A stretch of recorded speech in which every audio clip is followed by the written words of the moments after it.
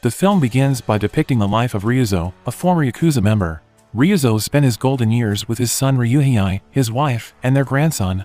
Ryuzo's life is described as being similar to that of other elderly people. Despite being a former Yakuza, he frequently practices with a toy bamboo sword and displays his Yakuza tattoos. Ryuhei is genuinely attached to his father. He frequently gives money to Ryuzo despite receiving numerous complaints from neighbors who were disturbed by Ryuzo's shouting during morning practice. The scene shifts when Ryuzo, who is alone at home, receives a phone call from a man. The man stated that Ryuhei had lost 5 million yen from the company and needed to replace it immediately or risk being fired. Ryuzo appears perplexed because he does not have much money. Finally, he requested a meeting with the man in order to hand over the money. Ryuzo gathered his belongings at home and dashed out the door to meet the man. The man and Ryuzo agreed to meet at the park. When he arrived, the man was dressed nicely in a suit and glasses. He claims to be the company's messenger, sent to retrieve Ryuhei's money. Ryuzo then requested that the man sit on a park bench, but he did not bring the 5 million yen that he had requested previously. Ryuzo, on the other hand, took his valuables, which he removed one by one from a black plastic bag. There's everything from a leather belt to an ancient coin collection. The man appeared surprised to see Ryuzo's actions, and at that moment, another elderly man approached and greeted Ryuzo. Masa, Ryuzo's younger brother when he was a Yakuza, appears to be the other man. Ryuzo informs Masa that the man is a messenger from his son's company, and that he will take the money. Masa realizes the man is a swindler and plans to beat him up. Ryuzo simply misunderstood and felt guilty because his brother had casually accused Ryuhei's male co-worker and intended to apologize by cutting his own finger. The man was terrified by their actions and fled immediately. Ryuzo and Masa finally left the park to go for a walk together. On the way, they come across another friend and former Yakuza member named Mokichi, who is being beaten by a group of young boys. Ryuzo attempts to save Mokichi by frightening the gang of young boys who have Yakuza tattoos on their bodies. Instead of being terrified, the young boys laughed and mocked Ryuzo. Fortunately, Murakami, a veteran police officer who happened to hit Ryuzo, witnessed the incident and intervened. Following the incident, Ryuzo, Masa, Mokichi, and Murakami went out to eat at a restaurant. Murakami used to be a cop who used to apprehend Ryuzo and other Yakuza gangs when they were younger. The veteran cop then explained that the generation has changed and that young people are no longer afraid of the Yakuza. He also revealed that the delinquent gang was a part of a new gang known as Kihin Rango. Murakami then told Ryuzo not to get into any trouble with the gang, but Ryuzo ignored Murakami's warning. Instead, he intends to assemble former Yakuza members to form a new organization. Ryuzo, Masa, and Mokichi returned to Ryuhei's house to continue drinking. When Ryuhei returned home that night, he was surprised to see his father's old friends reunited. Ryuhei chastised Ryuzo for thinking they'd be back in trouble when they were younger when he saw the three of them gathered in the living room. Ryuzo is embarrassed and decides to leave Ryuhei's house after being treated in this manner by his son in front of his friends. He and Mokichi decided to spend some time in Masa's apartment.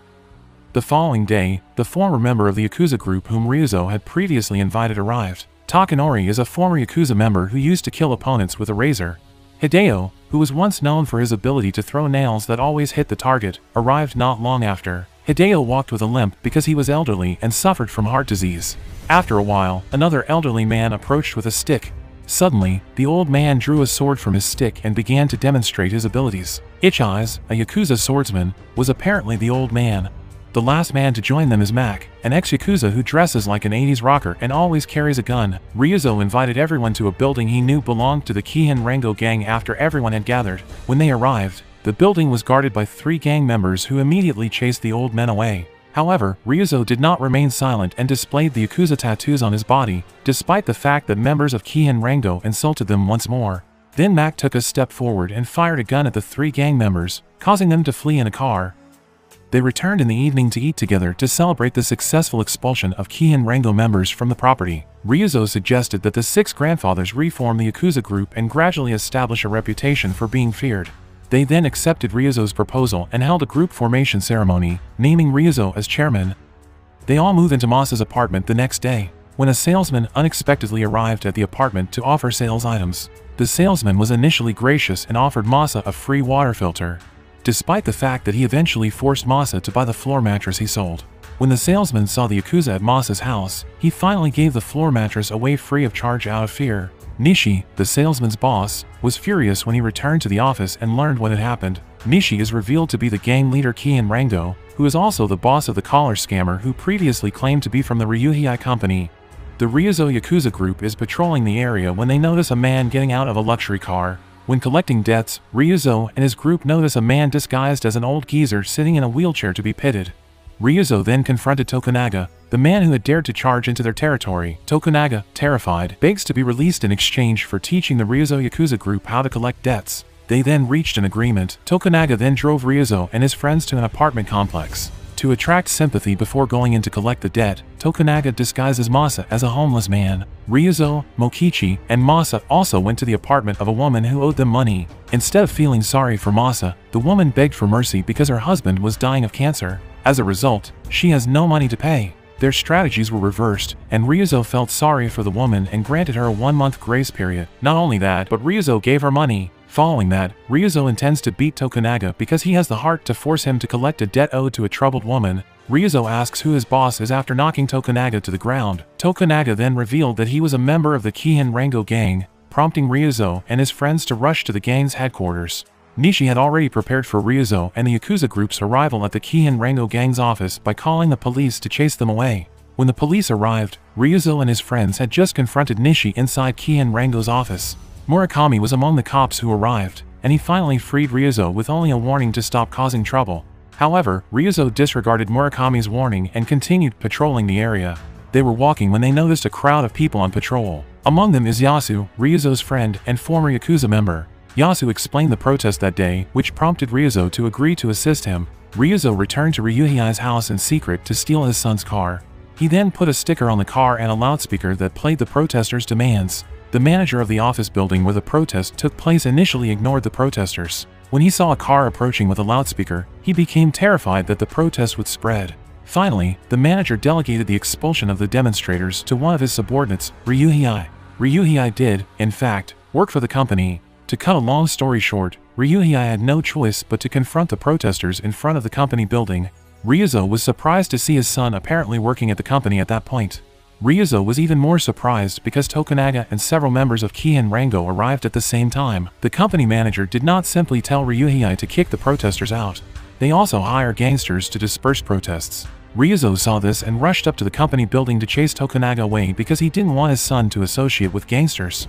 Ryuzo beats up Tokunaga and tells him to leave when they meet in the manager's office. Unfortunately for Tokunaga, he takes another blow when he returns to Kihin Rango's office and informs Nishi about Ryuzo getting in the way once more. The Ryuzo Yakuza, on the other hand, was about to celebrate the protest's success by having a good time. They appear to revert to their youth and glory days. Meanwhile, Nishi has grown tired of the Ryuzo Yakuza gang and begins plotting vengeance. He then summoned one of the gang's members, Kihin Rango, who was dating Yuriko, Mokichi's granddaughter. Nishi requests that he kidnap Yuriko in order to teach the Yakuza a lesson, but the man couldn't bear the thought of kidnapping his girlfriend, so he came to Mokichi to reveal Nishi's plans. Mokichi is enraged and plans to murder Nishi. The next day, Mokichi arrived at Kihin Rango's office disguised as a food delivery man. He hides in the toilet with the intention of stabbing Nishi with a knife as soon as he enters. Mokichi's plan did not work out because he was mistakenly hiding in the women's restroom. As a result, he was apprehended by Nishi's men, who beat him to death. The Yakuza group is devastated by Mokichi's death, and they vow vengeance. The plan of vengeance was carried out in two ways. Takanori and Yasu are about to steal a plane and crash it into the Kihin Rango building. Meanwhile, Ryuzo and his friends attack Kihin Rango's office with Mokichi's body in an attempt to scare the opponent. The plan went well at first. Yasu and Takanori successfully kidnap a technician in order to steal the plane. However, as they were about to fly to Kihin Rango's office building, the plane flew over the US aircraft carrier, forcing them to land. Ryuzo, on the other hand, rushed inside Kihin Rango's office. Unfortunately, their attacks went awry, with the old man's attacks specifically targeting Mokichi's corpse.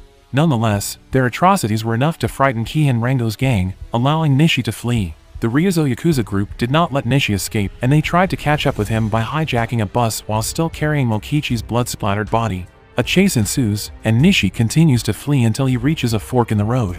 He was forced to exit his car after the bus collided with it, and he intended to apologize, but Ryuzo and his friends continued to beat him up. Just then, the police, led by Murakami, arrived and broke up the fight. Murakami also arrested Nishi on suspicion of murdering Mokichi, despite the fact that he also led Ryuzo and his group to hijack the bus and cause chaos on the road. The film Ryuzo and the Seven Henchmen concludes with Ryuzo being arrested, but he is actually relieved because the vengeance action is over. Thank you for watching, and I'll see you in the next video.